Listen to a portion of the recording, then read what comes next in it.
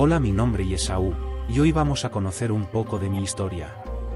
Cómo perdí mis derechos y bendiciones dadas por Dios. Y las consecuencias que eso causó en mi vida.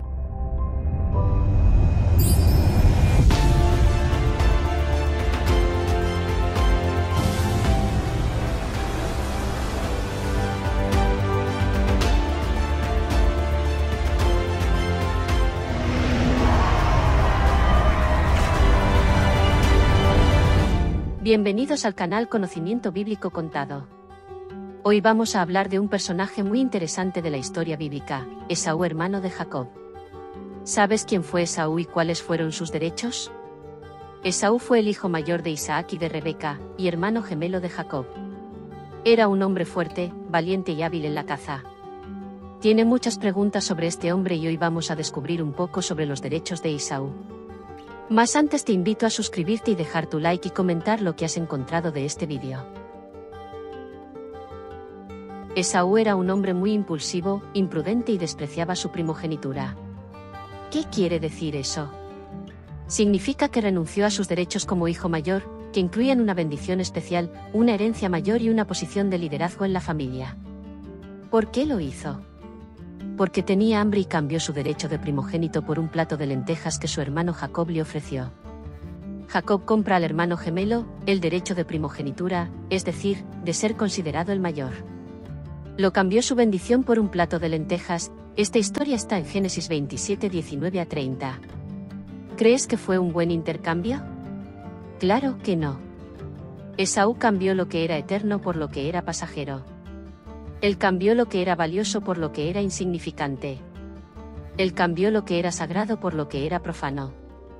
No valoró su derecho de primogénito, que era un don de Dios y un símbolo de la alianza con Abraham.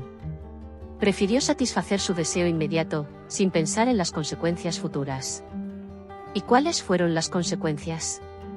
Perdió la bendición de su padre, que fue dada a Jacob, que se disfrazó de Esaú.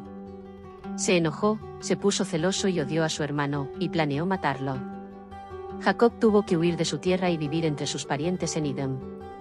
Jacob se casó con mujeres paganas, y tuvo que trabajar 21 años, para conseguir tener sus esposas y bienes. Esaú se convirtió en el padre de los edomitas, un pueblo que fue enemigo de Israel por muchas generaciones. Se alejó de Dios y de su promesa.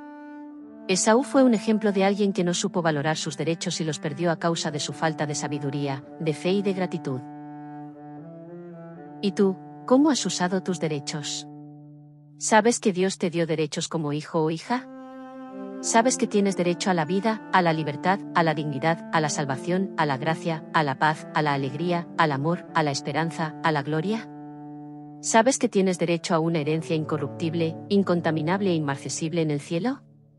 Usted sabe que usted tiene derecho a ser llamado de coacción de Cristo, que es el verdadero primogénito de Dios. ¿Has valorado esos derechos o los has cambiado por cosas mundanas, pasajeras e insignificantes?